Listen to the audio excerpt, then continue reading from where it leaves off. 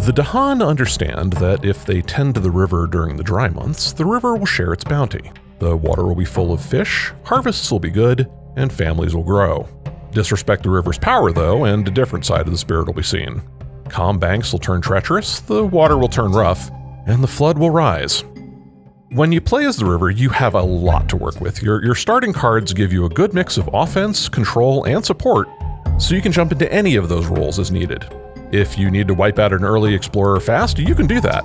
If a land's going to be built into or ravaged, you can shove the invaders out.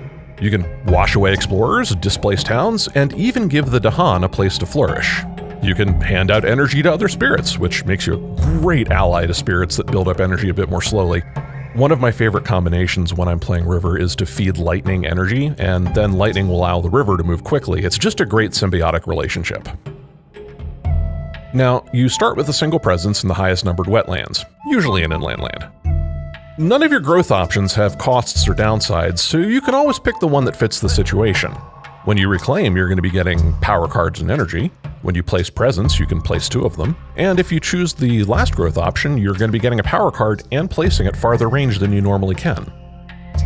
Getting more presence on the board is always nice, especially when you have two nearby wetlands you can expand into because of your special rule.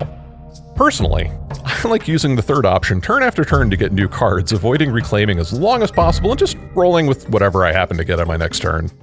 So, I mentioned the special rule, and it's more about flexibility than glamour. Your presence in wetlands counts as sacred sites. You'll see its usefulness measured in how far river can spread across the board and how often river can reach a troublesome area that other spirits are having trouble targeting. If you make sacred sites whenever possible, you're going to have the presence to spare to take side trips to, trouble spots, as well as a few spare presence to sacrifice without losing effectiveness.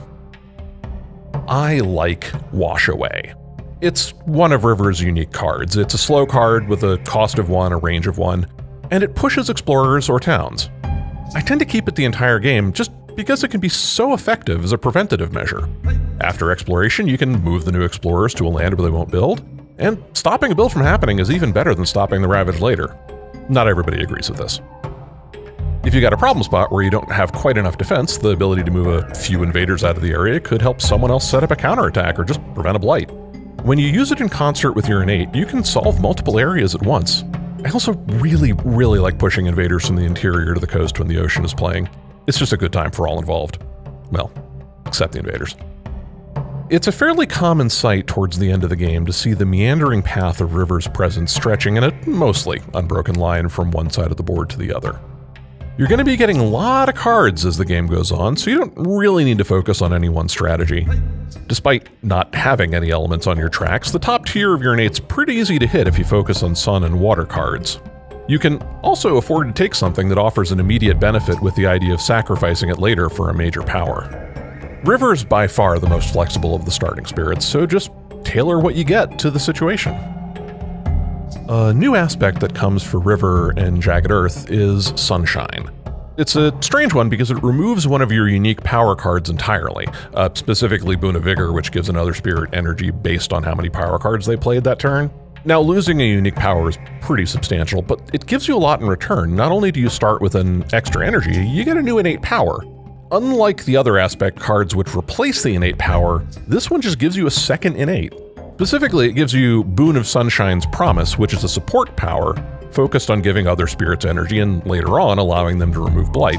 It's a bit more complex than Boon of Vigor, with the first tier being that target spirit gains energy equal to one less than the highest uncovered number on your energy track.